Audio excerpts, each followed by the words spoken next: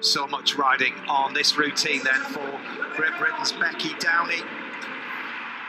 She's going for European title number three. She'll go all out for difficulty. And the pressure is palpable. This first element so important. Full pirouette, makes it cleanly into the big series. She's done really well. There's the extra catch Tkachev again. She's got through this first section, and oh, and that was the extra Tkachev that she put in in the hopes to be able to have the highest start value in the competition. And what a shame. Just mistimed it. Well, she didn't hold back in true Becky Downie style. She went for it. Absolutely. And now she has to carry on.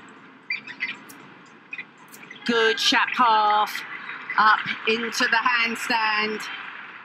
Here comes the dismount, so it's right near the end of the routine. The extra Tkachev, what a disappointment for Becky, but you know you have to try it out somehow and some way. You do, and absolute respect from all of the gymnastics world for being the first gymnast out of the traps, going all out and trying to set the impossible benchmark.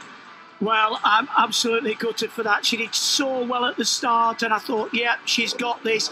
But we're talking the finest margins on the release and catch. You know, it was just almost fingertips. So well at the start. Locks out in the handstand. She's got some very complex release and catch there from the Stalder into the catch. Tkachev. That's the one I think that just drifted away huge full twisting double back. But she knew at the start, you know, it was all or nothing. No, Beth. She'll be back. Beth, I mean, you must feel for her. Your heart must go out. You know what that feels like. 13.633 with a fall is a huge score. It is indeed, but